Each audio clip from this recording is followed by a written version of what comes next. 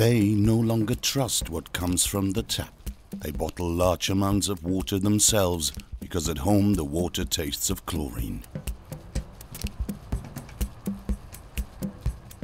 Thousands of residents in Sofia, the capital of Bulgaria, come here every day to fill their canisters and plastic bottles. Some don't have home access to running water. This family shuttles in its daily supply by car. They get nothing from the water utility in Sofia. Look here, no water. It's all dry. Two years ago, their water supply suddenly stopped. We drive 12 kilometers to my mother's to get water. We can hardly manage to carry the big bottles. Look how heavy they are.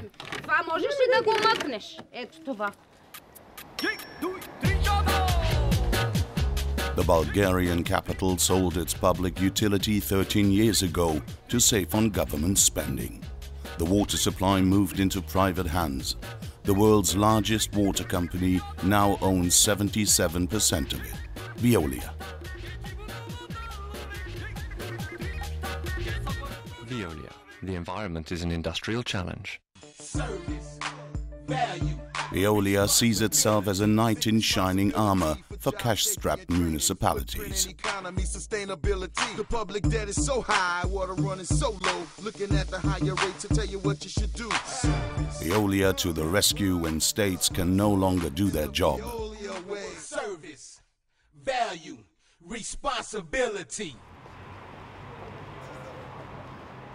Veolia's corporate headquarters are in Paris. The company supplies drinking water to 100 million people around the world. Paris itself withdrew Veolia's concession after 25 years on the grounds of poor service and inflated prices.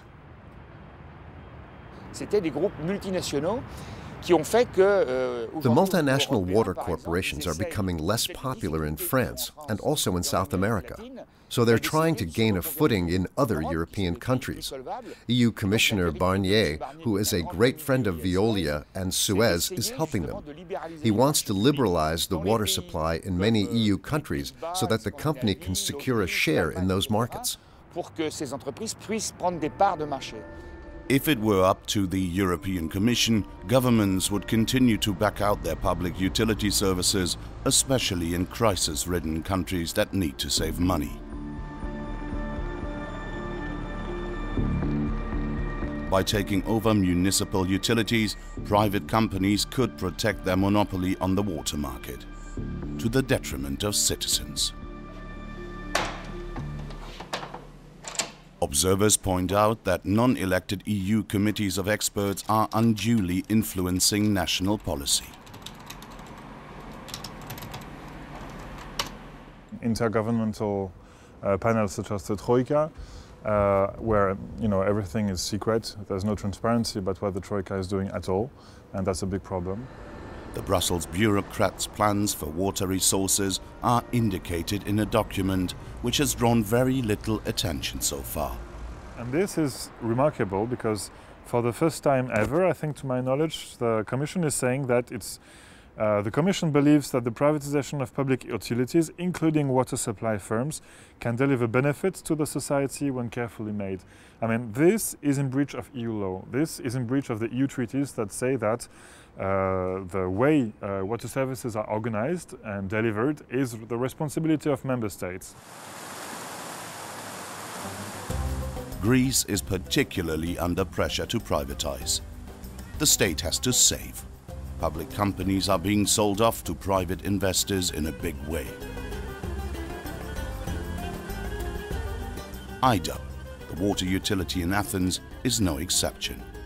It's been in public hands so far, but that's set to change. The government desperately needs money When you invest, you want to make maximum profit. It's up to me to manage the expectations of the investor and match them with the expectations of the public interest. Stelios Stavridis is the head of Greece's privatization agency, TAIPED. In early May, he sold off part of the state lottery. Athens Water Company is next on his list. There are already interested buyers. You're not talking about selling or not selling the water. Mm. What you're selling is services. What you're giving is the services. Who will be invoicing? Who will be collecting? Who will be extending the pipes? Who will be uh, uh, repairing the pipes? Who will be doing all these things? This is what we're talking about. We're not talking about giving our water or our air or our sun to anybody, Germans, French, Austrians, etc., etc. No, on the contrary, we welcome you to come invest in our country. You benefit, we benefit, and this doesn't uh, work against the public interest. The Greeks themselves are less optimistic that they'll also benefit from the transaction. Selling airports and lottery companies is one thing, but water is a whole other ballgame.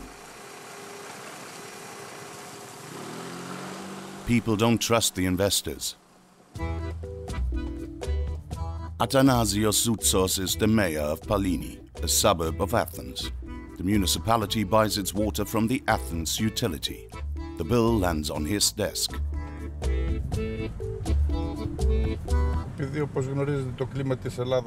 In summer, the climate in Greece is very dry and the temperature gets quite high.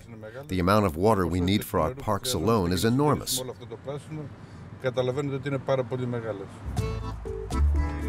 The mayor takes us to the local pumping station. From this point on, his municipality is responsible for supplying water to every household. All the technical plants are in public hands, and he wants it to stay that way.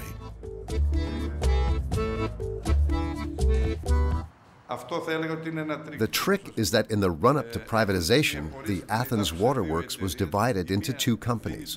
One of them sells the water to us as a natural resource, and the other one operates the technical facilities. If a private business owner calculates the high cost of maintenance of the equipment, then the price for water automatically increases even if the water itself hasn't been privatized.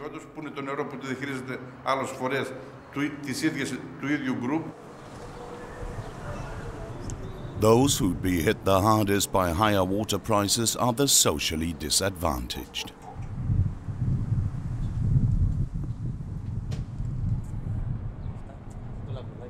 Like Olympia Nicoletou's family.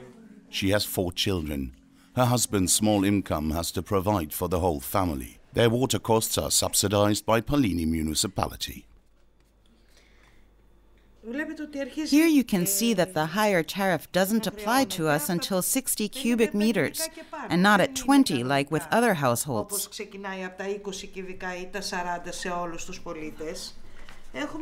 We get a special price from the community and don't have to pay the base charge. The community supports around 300 families. The prices for water are staggered according to income. It's for reasons of social justice. Olympia Nicoletou doubts that a private company will have interest in that. An investor will do anything the law permits especially with people like us, a lot of children and socially weak. A privately owned company surely won't respect the needs of low income people like us.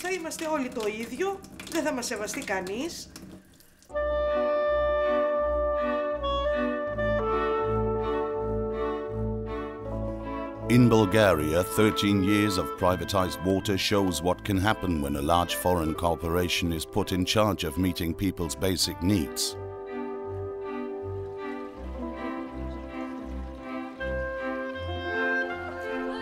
Victoria Shalamanova is a social worker in a suburb of Sofia. Middle-class Romanis live here in what is known as the faculty quarter. They could lead more or less comfortable lives if it weren't for the problem with the water supply. There is no pressure in the piping system. The residents are upset because they've been left behind.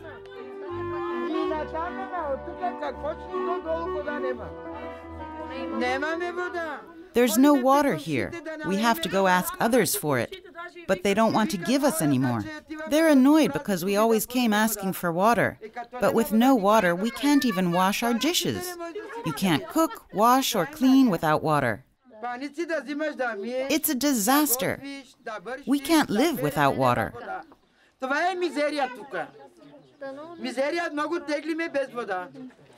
Social worker Shalamanova knows the stories. The problem started three years ago. When people complain and an engineer from Sofia Water has to come check the pipes, the homeowner has to pay for it. So the people don't even submit their complaints anymore. It's a monopoly of thieves. They're robbing us, and we end up with nothing. The complex isn't very lucrative for the water company. As long as the government authorities don't intervene, nothing will change. I'll send a complaint to the European Court of Human Rights. I'll show them that I have legal documents for my house. They think we are Romanis and have a different lifestyle, but they're wrong about that. We need water too. In the middle of Europe, people deprived of their right to water. In this house too, nothing comes from the tap. Canisters are the only solution. Look, why is there no water? I've written to the President, I've written to the Prime Minister, and to the ministry in charge of this. They say that these houses aren't in the building development plans. That's just an excuse. Of course. Here's my notarized entry in the land register. I pay all my taxes, and I'm a citizen of this country, but my right is denied. What century is this anyway? I'll show you the letters of complaint. You don't need to. We get it. The Yet campaign tells a very different story. Professeur Monsorez, avec A cette fictitious chaleur, professor ensures high quality water. une meilleure information, des risques minimisés et une garantie optimale de They guarantee optimal quality. Bravo, docteur Monsorez. Merci et à bientôt, Explorer.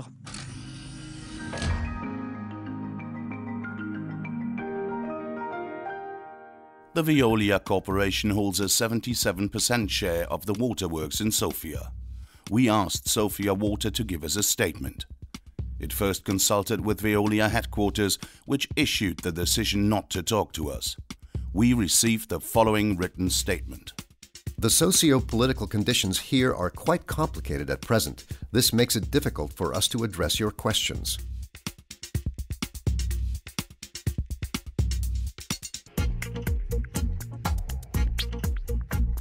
Someone who does want to talk with us is the former director of Sofia Water.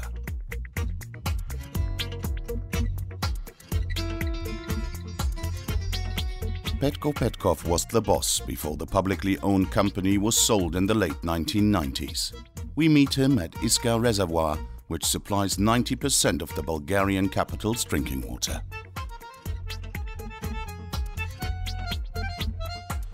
The investors pick cities that have a lake to secure the water supply. They don't even bother going to places where there's no easy access to water. Dobrich, for example, wasn't interesting for investors. There, the water has to be pumped up from deep underground. Of course, water from a lake makes things easier.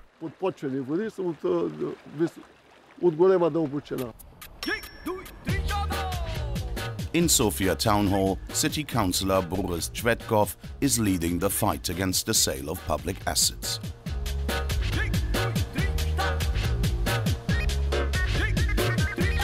Wants to undo the privatization of the last 13 years. Tsvetkov, a member of the Socialist Party, is trying to launch a referendum on it. These are the signatures we need for a referendum. Thousands of people have signed in support of reversing the concession for Sofia Water. The look inside Sofia's canal system shows that the old infrastructure has never been upgraded. 60% of the water drains off before reaching consumers. 30% of the households aren't connected to the sewage system. The city councillor says that pledges to invest have evaporated into thin air. In the 90s, we and the citizens were told that the network desperately needed to be modernized. So we pulled in foreign investors who were supposed to use their money to upgrade the equipment, which they'd earn back later through fees. But they never invested any of their own money.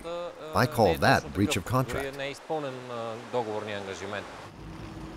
The French have more than a hundred years of experience with private water investors. Paris and other major cities have had a change of heart. Many municipalities have reversed the privatization process because people were fed up with the low water quality and higher prices. That isn't surprising because the private sector is driven to turn a profit. Previously, the deal with French mayors worked like a well oiled machine.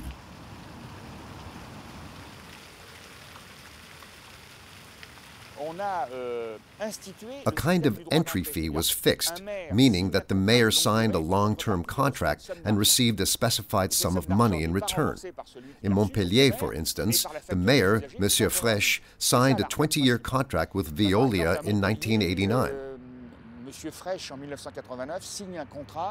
In return, Veolia funded the construction of a convention center. In other words, Veolia's investment was primarily financed by raising people's water bills. Of course, the residents of Montpellier weren't told this.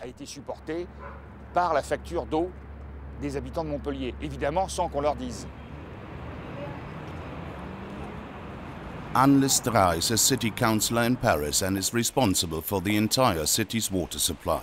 Under her leadership, Paris put the water business back into municipal hands. It enabled the city to pull the plug on huge price increases.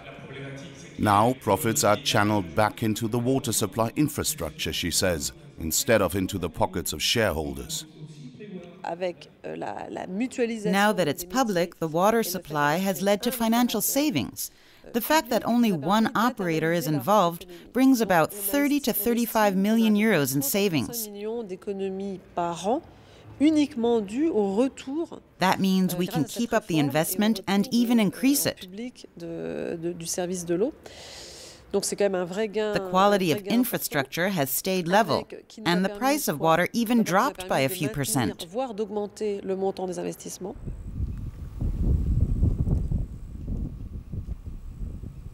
Spain has very different water problems. Here, the precious liquid is in hot demand. Its scarcity, especially in southern Spain, sometimes creates bizarre scenery. Year after year, this is what it looks like around this reservoir in Almeria province. The biblical drought in southern Spain has brought many to their knees. No water, no life. Many people have left the region. In 2000, politicians thought they'd come a step closer to solving the problem. They wanted to use water from the Ebro River to supply southern Spain. More than a thousand kilometers of pipeline would be laid from north to south.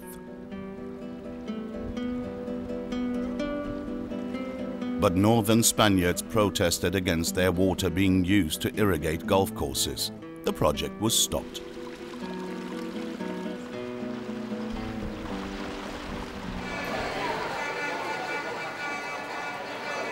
Demonstrations continue to keep the Spanish on edge.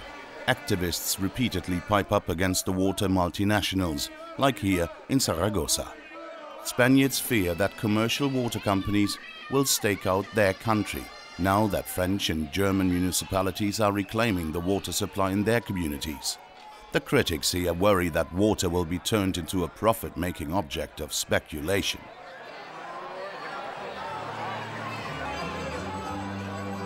The blue banners symbolize Spain's rivers. The Spaniards have a knack for creating images that look good on TV.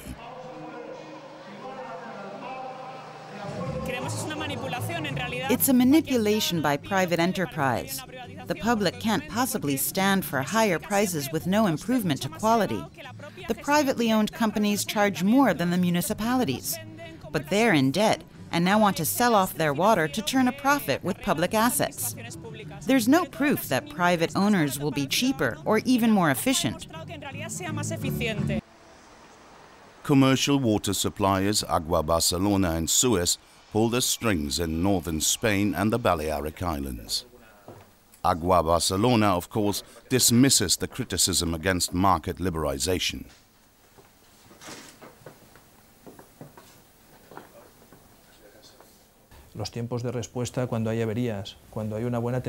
Water is getting more expensive, and so is the technological context involved in it.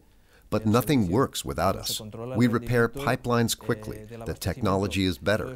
If problems arise, our customer service ensures that they get fixed. But the services provided by commercial operations have to be explained. Otherwise, people think we don't do or take care of anything.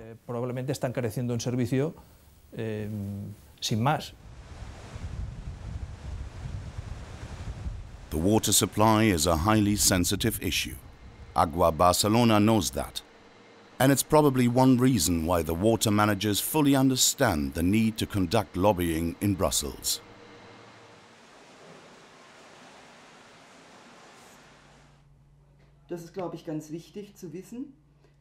It has caused confusion and resentment among the ranks of parliamentarians, such as Greens party member Heide Rühle. I thought it was strange that Suez, which is one of the largest privately owned water companies in Europe, invited me to visit their waterworks in Barcelona. They offered to pay for the flight and hotel. Of course, I declined. There's no question about that. But I wasn't the only parliamentarian to be invited like that. I think it's objectionable. Civil rights activists and trade unions have joined forces to prevent plans for privatization in Europe. They've collected more than a million signatures protesting the sell-off of water.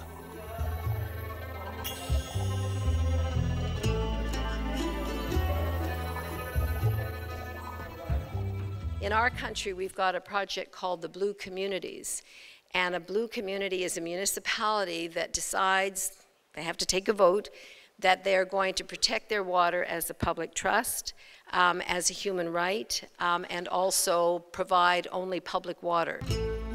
Canadian water activist Maude Barlow has come to Vienna to urge Europeans to rethink their austerity policy. Along comes the crisis, the financial crisis, and then the auster so-called austerity crisis, and they come back around and they say, oh, well, it's not because privatization is so good, you know, but we have no choice. We, you know, you have to sell off your water if you're, if you're going to get debt relief. Um, and it's a way of coming back to Europe and, and fighting the forces that have rejected privatization. So they want to start with Greece and Portugal and, and Italy and so on. Back in Greece, Athens isn't the only city making cutbacks. Thessaloniki is another example. Workers are rallying against a sellout. Their profitable water plant is to be sold into private hands, but they're putting up a fight. Kostas Marioglou works in the repair service. He fears that his department will be the first to go. It's clear to us that if a private corporation were to take over here in Thessaloniki, they wouldn't be very interested in repairs. They concentrate on areas that are more lucrative.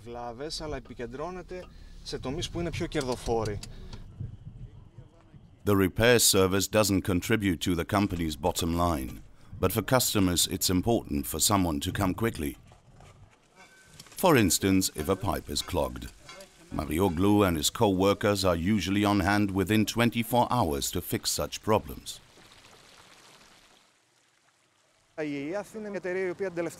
Our water plant operation has never received public subsidies. The company has generated 93 million euros in profits over the past five years and has more than 26 million in reserves. What the government would get once from the sale, the company could generate in three to four years. Mario Marioglou has become an anti-privatization activist, and he has come up with an idea to get the residents to buy and manage the water utility themselves. Group 136 is the name of the effort to get every citizen to contribute 136 euros. In combination with a few larger donors, it might be enough to take over the utility.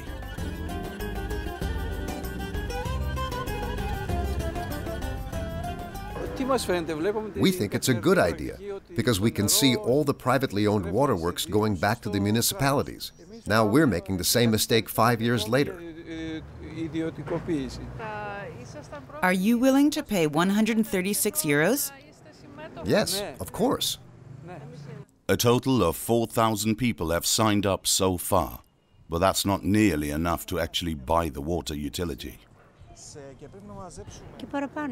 I'd give even more money if I knew that the plan is really sound, but my pension is just so small after so many years of working.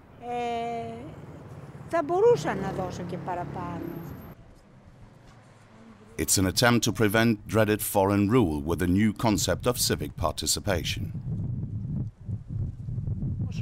The whole city has to sign. We have to find a different model of development. It can't go on like this. This is a wholesale sellout. The current public model is also weak because it led to many cases of privatization. If a mayor advocates public management today, how can we be sure that the next one in office will do the same in future?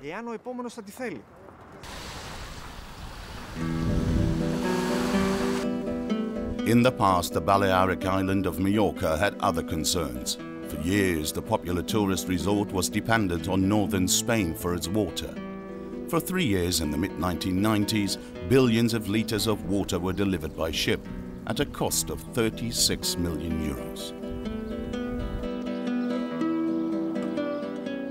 The battle for the blue gold, which has agitated public opinion throughout Europe, has sailed right past Majorca. The island is one of Spain's provinces where the water supply underwent privatization long ago. And Majorcans think that's good. The communities here are glad about the private investors who have been managing the island's water supply for years. Chaotic public management is now a thing of the past, at least for the water supply.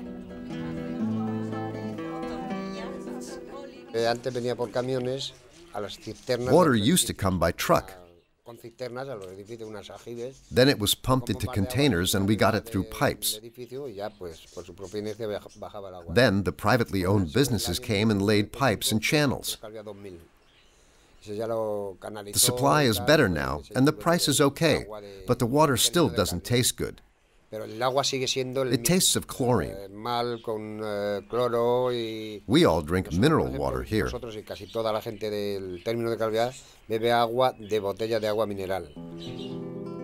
Nonetheless, 20% of the potable water still gets lost in the pipes. There's no centralized supply. The municipalities don't have enough money to finance water exploration. That's an ever more expensive endeavor being left to the private water utilities. People are happy. They don't have to worry about supplying water themselves anymore. They don't have to wait for rain. They now have running water around the clock. That didn't used to be the case. The private companies have also committed to regularly monitoring the water quality.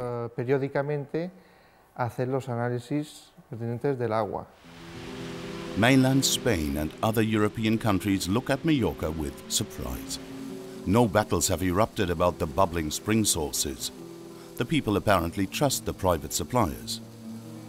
Words of warning from critical activists go largely unheard here, when in fact market liberalization is a matter that affects everyone in Europe.